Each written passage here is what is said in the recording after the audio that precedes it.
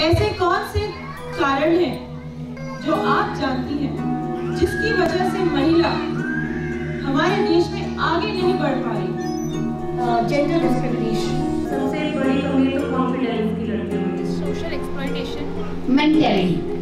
problem lies basically in financial अगर women financially stable है ना तो प्रॉब्लम ऑटोमेटिकली सब up to some extent solve हो जाती है। Dependence before marriage upon father after marriage upon husband and then upon son आप बताइए कि आप सभी के पास बैंक अकाउंट है?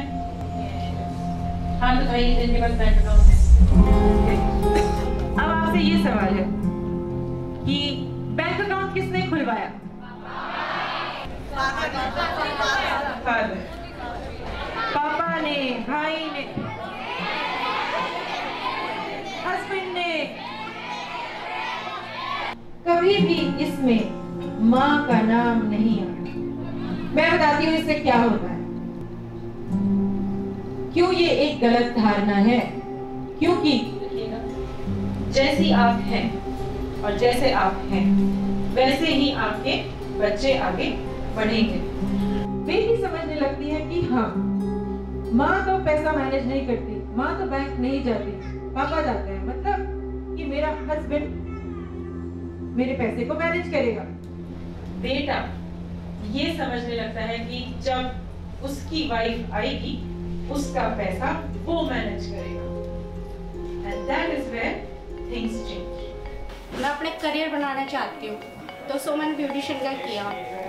मुझे किसी ने सपोर्ट ना किया ना कोई फ्रेंड्स सपोर्टेड थे ना कोई फैमिली ना मॉम डैड अभी मेरी जॉब लग गया सो इतना है कि मैं अपने ऊपर डिपेंडेड हूँ।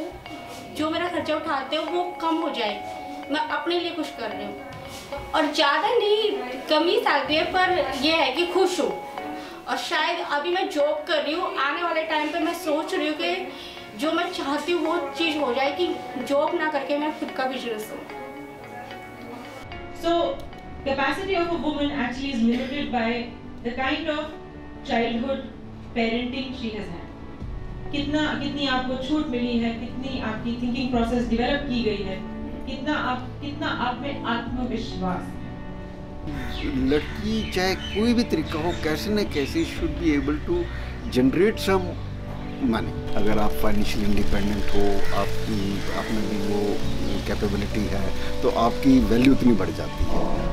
It is of utmost importance that आप सब चीज पहले भूल कर अपने को फाइनेंशियली इंडिपेंडेंट करें because it is important that you find your self respect first the most important part, and all of you are people who have great aspirations, want to make big careers. Earlier, I also used to complain, what is the government doing, what is this? But what can we can do To this on one-one steps that we can contribute, or the small things that we could do